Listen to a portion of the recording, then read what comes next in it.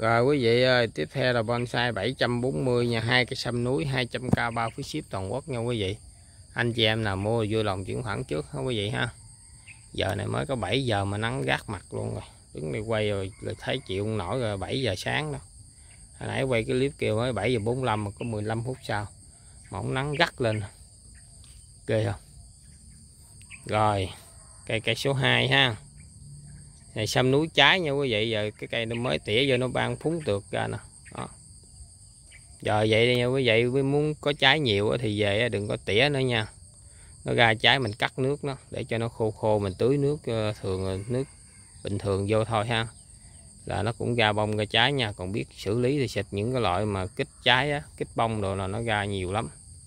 Rồi xuống luôn quý vị ơi.